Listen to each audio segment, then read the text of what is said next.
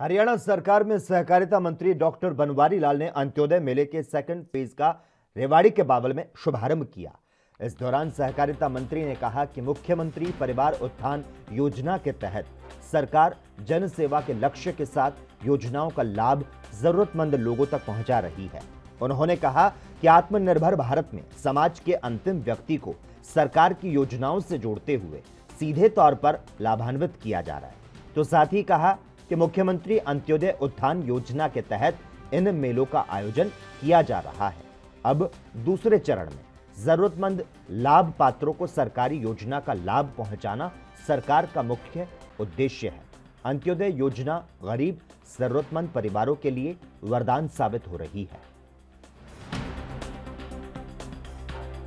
किया था और आज जो लोग रह गए थे, उनको दोबारा बुलाया गया है। और पिछले उनतीस नवंबर से आज तक काफ़ी अच्छा काम अधिकारियों ने किया है और एक सौ पचहत्तर के करीब केस थे जिनमें से तेईस तेईस सेंक्शन हुए ना? एक सौ पचहत्तर सेंक्शन है सर तेईस बैंक अच्छा तेईस।